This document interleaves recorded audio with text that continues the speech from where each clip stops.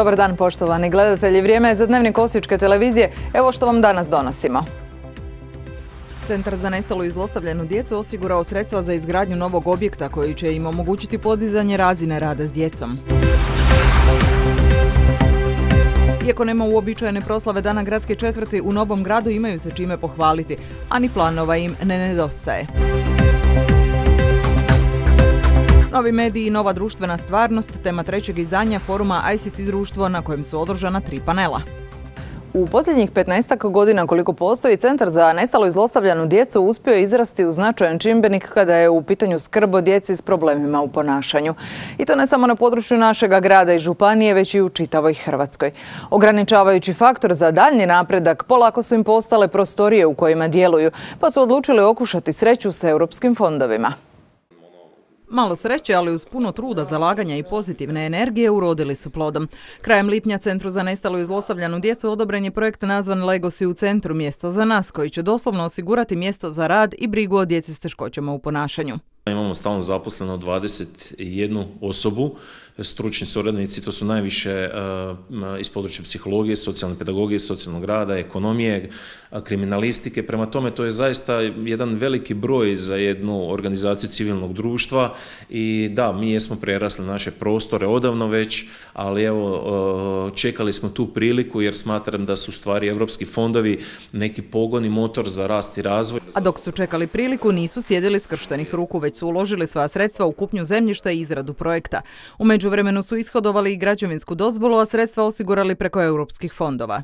Uspjeli smo da, da, da, da svi prostori budu popunjeni korisnika, naravno da imamo sasvim dovoljno i na čekanju čak, naravno jednostavno to će biti nekako najmoderniji prostor za djecu, mlade, uopće ja mislim u Hrvatskoj sada kada se izgradi. Iako se 700 četvrnih metara može činiti kao puno prostora, Ramljak nam otkriva kako je ovo skromnija verzija onoga što su u početku željeli, jer puno je toga što centar radi. Od sigurnijeg interneta preko europskog harmoniziranog telefona 116000 za nestalu djecu do poludnenog boravka. Jedna zaista kvalitetne nove prostorije e, sa, sa, sa pristupom za invalide, znači na sanitarnim čvorovima, sa liftom, sa, sa e, dnevnim boravkom velikim, sa velikim dvorištem, koje je u stvari neophodno za naše korisnike koji dolaze tu da se osjećaju zaista ugodno i, i ajmo reći tako kao da su u nekoj, nekoj malo boljem okruženju, u nekoj boljoj kući da imaju sve ono što možda nemaju tamo odakle dolaze. Tu je i savjetovalište za djecu, mlade i obitelj. Nov prostor omogućit će i uključivanje roditelja u čitavu priču što u centru smatraju izuzetno bitnim. Mislim da, su, da, je, da je to ključno, stvari uključiti roditelju u savjetovalište, u tretmane, u različite radionice, u predavanja, jer uh, roditeljstvo ne slijedi pravila, roditeljstvo je u stvari fluidno e, i mi odrasli se, odnosno roditelji se trebaju u stvari uhvatiti u koštac s time da nisu baš uvijek e, u pravu i da je nekad izazov biti roditelj, ali se treba znatno nositi s time. Mislim da je tu pomoć stručnjaka neophodna. Tomu svemu još valja dodati i dvoranu za edukacije kao i sportsku dvoranu. Napravili smo jednu kuhinju, jer u stvari nisu samo, e, trebamo sa djecom raditi i one neke životne vještine. Mislim da s tom djecom trebamo im pripremati da život e, im neće servirati uvijek na tacni gotovu hranu, gotovo, nego trebaju se nekad i naučiti kako doći do, te, do toga da stvari imaju to, to, taj obrok e, i kako se mogu snaći danas sutra i kad postanu samostalni, u stvari nekako te životne vještine ih pripremaju za samostalnost. Rok za izgradnju i uređenje objekta koji će biti smješten u Višnjevcu je 18 mjeseci, što će smatra Ramljak biti sasvim dovoljno vremena. Problematika komunalne infrastrukture prednjačila je među odrađenim projektima i u gradskoj četvrti Novi grad u proteklih godinu dana. Ova gradska četvrt sutra obilježava svoj dan, no zbog parlamentarnih izbora jučer su položeni vijenci te održana sveta misa za sve poginule i umrle. Situacija vezana uz koronavirus utjecala je na to da proslave ove godine nema. Iako je koronavirus promijenio i zaokrenuo života svih nas te utjecao na brojne aspekte života, u ovoj gradskoj četvrti zadovoljni su barem onim dijelom investicija i radova koje su uspjeli odraditi prije krize, a učinjeno je dosta toga. Započeli smo obnovu, restauraciju i dopunu našeg sportsko-rekreacijskog centra koji se nalazi na Ivana Gorana Kovačića iza Studenskog doma. E, tamo smo napravili jednu sjednicu koja nas je koštala nekih 41 tisuću kuna i napravili smo street workout park, odnosno e, park za vježbanje na otvorenom u iznosu od nekih 80 tisuća kuna. Također nadopunili smo sprave koje imamo u parku koji se nalazi na južnom dijelu našeg, naše gradske četvrti također sa spravama. Nažalost, borba protiv posljedica koje je korona ostavila na gospodarstvo utjecala je na proračune gradskih četvrti i mjesnih odbora, tako da su svi ostali bez dobroga dijela novca namijenjenog ovogodišnjim projektima. U blagajni im je ostalo 100.000 kuna. Tako će da ćemo se zadržati na rješavanju problema urbane opreme kao što su klupe, e, i ponešto javne rasvjete. Moram također reći da smo ove godine zatvorili sve mrtve i crne točke javnom rasvjetom koji se nalazi u našoj gradskoj četvrti tako da smo osvijetlili sve prolaze, ukupno njih pet pješačke naše gradskoj četvrti, tako i da smo uredili i sredili javnu rasvjetu i kolnik i pločnik oko naše mjesne zajednice Knez Domagoj. Jedno je ovo od najmnogoljudnijih gradskih četvrti našega grada u kojoj živi 14.000 stanovnika, što u više stambenim zgradama, što u obiteljskim kućama, tako da nije jednostavno pomiriti sva ta mišljenja i ispuniti želje. Različiti dosta je mentalitet ljudi koji žive u obiteljskim kućama, onih koji žive ovdje na Sjenjaku, na najmnogoljudnijem naselju u gradu Osijeku, imamo negdje otprilike ovdje oko 5000 obitelji i 4100 kućanstava. Trudimo se, trudimo se, malo jedni, malo drugi, malo treći, napravimo neki red pa u krug, tako. Mislim da je to najpoštenije i najrealnije za odraditi upravo zato ne čudi ni dug popis želja i potreba koje bi voljeli napraviti u idućih godinu ili više dana, što samostalno, što uz pomoć grada Osijeka. Želja im je urediti središnji trg jer ga ova gradska četvrt nema. Imamo ovdje dosta i previše po meni već betona i asfalta, napravili bi nekakav park, sličan možda sa Kuntali parku, ali manji, nekakav, ajmo to tako nazvati, zeleni trg, možda s nekim specifičnim biljnim vrstama, pa da i naši najmlađi imaju odmah pored da se vide nekako neke e, table da piše neka malo drugačije drveće i voljeli bi svakako na području naše gradske četvrti koja je jedina gradska četvrt i jedini mjesni odbor sveukupno gledajući sinergijski koja nema e, ploču i nema spomen obilježje hrvatskim braniteljima. Još je tu niz drugih, nešto manjih projekata. Trenutno najveći problem naše gradske četvrti rješavanje parkirnog prostora i prometne regulacije infrastrukture vezano za područje kod tržnice koja se nalazi u ulici Kralja Petra Svačića. Naime, tamo trenutno imamo osam ugostiteljskih objekata, tri mesnice, veliku trgovinu, dva hotela u blizini, odnosno tri, dvije pekare i samim time naravno frekvencija i stajanja i prometovanja na tom području izuzetno velika, vjerujem da to znate i sami. Nadamo se da ćemo zajedno s gradom ići u tom smjeru da se to riješi. Kapitalnih investicija u proteklih godinu dana nije bilo, no na samome rubu ove gradske četvrti odrađeni su veliki radovi na prometnoj infrastrukturi vezani uz izgradnju kružnih tokova na Trpimirovoj, što uvelike utječe na kvalitetu života građana na Sjenjaku. Treću godinu za redom grad Osijek bio je domaćin foruma ICT društvo ove godine održanog na temu Novi mediji i nova društvena stvarnost. Održana su tri tematska panela na kojima su sudionici pokušali dati odgovore na osnovna pitanja. Kako novi mediji transformiraju društvo, o novim medijima u izbornim kampanjama te o novim medijima i brandingu. Povijest medija vezana je uz povijest tehnologija koje su prolazeći razvojne faze sve više oblikovale forme društva i socijalnih gibanja – industrijsko društvo obilježili su stari mediji poput tiska, radija i televizije, a informacijsko društvo 21. stoljeća vezuje se uz nove medije s računalnom tehnologijom. Domaćin trećeg foruma ICT-a bio je ekonomski fakultet, a pokrojitelj grad Osijek. Mi na Ekonomskom fakultetu se trudimo naše prostore što više otvarati za široku javnost, dakle nekakve teme koje su i znanstvene i znanstveno stručne popularizirati, omogućiti dakle da u ovim prostorima se održi puno zanimljivih događanja. Ovo je prvi ovakav događaj nakon lockdowna koji je bio u, vrijeme dakle korona krize, pa su možda malo i, i nervozni, ali evo sve epidemiološke mjere poštujemo, vjerujemo da će sve funkcionirati. Nama kao pokrovitelj ovog foruma već trećeg u gradu Osijeku je iznimno drago što je upravo Osijek mjesto okupljanja, a naravno da bi htjeli da bude i mjesto na kojem će svi ti stručnjaci koji rade u IT tehnologiji, u novim medijima, imati i svoju domicilnu adresu. Dakle, vidimo Osijek kao mjesto života, kao idealno mjesto života za ljude koji rade u ovoj novoj industriji. Razumijevanje novih medija je vrlo bitno i e, stoga je ovaj današnji skup iznimno bitan jer sve ove nove tehnologije ne donose po defaultu i dobre stvari. Dakle, vrlo je bitno progovarati o tome da se razumiju, da se njihova mehanika i njihova poslovanje razumije. Zahvalio bih i institutu što organizira u Osijeku, odnosno što je, što je prepoznat e, upravo Osijek kao središte ICT industrije u Republici Hrvatskoj, što mislim da svakako to i zaslužujemo i u konačnici kada govorimo o novim tehnologijama i o tome kako utječu na medije, ja bih tu možda i proširio malo priču i rekao da zapravo E, odnosno sudio bih se reći da najvećim dijelom nove tehnologije kroz povijest mijenjaju društvo, dakle pa tako naravno i medije. Ovo je treća godina. E, koncept je da imamo po tri panela zapravo, da nije neka klasična konferencija, jer smo vidjeli da taj koncept panela, odnosno ta komunikacija koja se e, rodi iz toga da, da bude vrlo zanimljiva, naravno potrudimo se takve goste dovesti, e, da bude zanimljiva i e, da ljudima to odgovara. Potičemo da se, da se sudionici također uključuju tijekom panela, da postavljaju pitanja, komentiraju, tako da ovaj, nadamo se da će i ove godine biti zanimljivo. Tema ovogodišnjeg foruma su novi mediji, odnosno novi mediji i nova društvena realnost. Ono što je zanimljivo zapravo što smo na tu temu nismo došli zbog korone, nego smo to došli prošle godine, samo se to uklopilo sve zajedno dobro i korona je još dodatnu dimenziju u to sve unijela.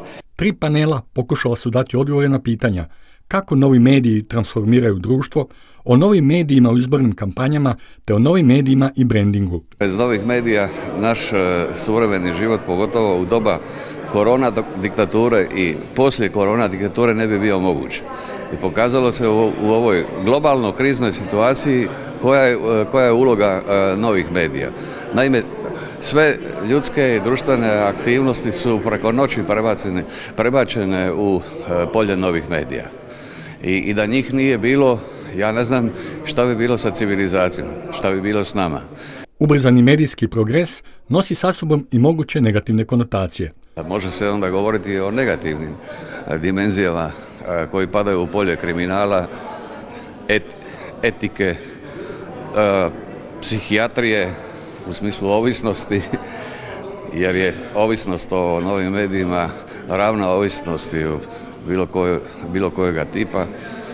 Tako da moramo ih gledati kao nešto što je pozitivno i nešto što ima negativne sadržaje. Procjenjujući perspektive medijske evolucije, voditelj ovog projekta zaključuje. Novi mediji kao dio te tehnološke dimenzije globalizacije su sada doživjeli triumf i u budućnosti će e, triumfirati. Zato što će se, zato što se sada već zagovara koncept. Učite na daljinu, radite na daljinu, trošite na daljinu, zabavljajte se na daljinu. Ne izlazite nigdje, držite distancu dva metra i onda neka mi netko odgovori šta je onda društvo. U posljednje do 24 sata za područje Osječko-Baranjske županije na koronavirus je testirano 215 uzoraka, što je do sada među najvišim dnevnim brojem obrada, a pozitivno je bilo 14 nalaza. Najviše 8 pozitivnih s područja je Đakova, 4 iz Osijeka te po jedan iz Strizivojne i Čepina. Svi su kontakti ranije oboljelih osoba. Na području Osječko-Baranjske županije 223 su osobe aktivne na koronavirusno, smanjen je broj hospitaliziranih u KBC-u. Tri pacijenta su jučer otpuštene na kućno liječenje, pa ih je u bolnici ostalo 24, a nitko nije na respiratoru. Policija nije zaprimila ni jednu dojavu građana u kršenju samoizolacije, a od samoinicijativnih provjera samo u jednom slučaju Đakovu osoba nije zatečena na prijavljenoj adresi. Iz nacionalnog stožera civilne zaštite javljaju kako je protekla 24 sata zabilježeno 86 novih slučajeva zaraze, te broj trenutno oboljelih u Hrvatskoj 798. Od njih je 85 pacijenata na bolničkom liječenju, na respiratoru su tri pacijenta, a jedna je osoba preminula. Manje više svi osjećani već dobro znaju kako je prva subota u mjesecu rezervirana za sajam antikviteta u Osječkoj tvrđi. Čak niti pogoršanje epidemiološke situacije nije spriječilo na desetke izlagača i stotine posjetitelja da potraže ili prodaju komadić koji je nekome otpad, a nekome blago. U šetnju trgom Svetoga Trojstva zaputila se i naša ekipa. Francuski kaminski sat iz 1850. Uvjerava nas jedan od izlagača na sajmu antikviteta. Sat je ispravan, jako lijep. Kako znate godinu točno? Imam ih više komada. Svi su jedne marke, tako da znam na jednom piše da su iz 1800 i... Originali sve? Sve originali. Koliko ga cijenite? Cijenim ga 3,5 tisuće kuna. Bude li kupaca za te satove? Pa danas sam prodao dva sata, zidna.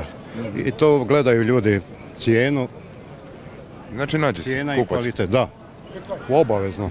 antikni satovi, ali i antikna glačala, za svakoga ponešto i sve na jednome mjestu. Stare Biedermajer pegle, jel, ovo su bile, ha, može se reći više gospodske, jel? Mesing je bio skup onda, pa bilo je u bogatim kućama ove. Koji je princip onda? Ovo se zagrije? Znači ovo se zagrije jel, i ubaci se sa jednim klještima specijalnim baš zato, ubaci se unutra i, tako se ovaj, znači peglalo. Ima, i, mislim da ih ima od 1 do 15. Znači, Veličina? Tako je, piše veličina na svakoj iza. Znači, da, ako je original mora pisati veličina i moraju biti ovi zarezi ovdje sa strana, vidite. A recite, ako sam ne varam, mislim da sam čuo da ste spomenuli da ova manja skuplja. Tako je, zato što to? je rijeđa.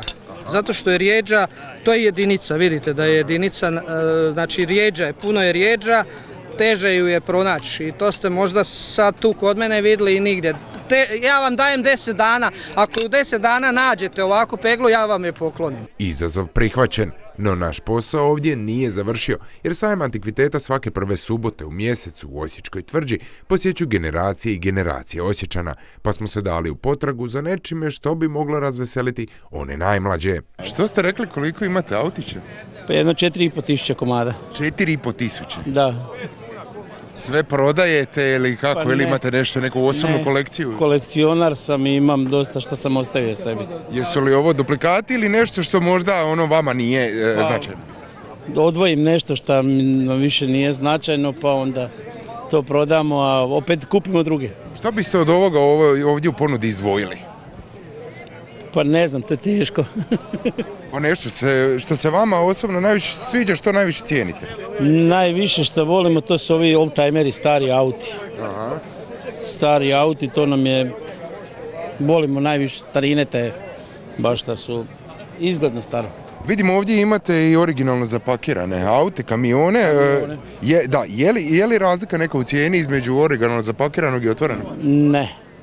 Ovi čak su jeftiniji pošto su to reklamni autići, pa onda kamioni, pa onda su jeftiniji. Poznata je ona kako svaka roba ima svog kupca. Ono što je nekome otpad, drugome je blago, pa valja malo i pročačkati. Dok jedni dođu pripremljeni, drugi se oslanjaju na sreću. Tražim ploče zapravo, da, imam tu čak popis jedan, da. Ne očekujem previše, ali nekad, nekad se zna naći, da. Zna se znači naći na ovakvom mjestu? Da, da, da.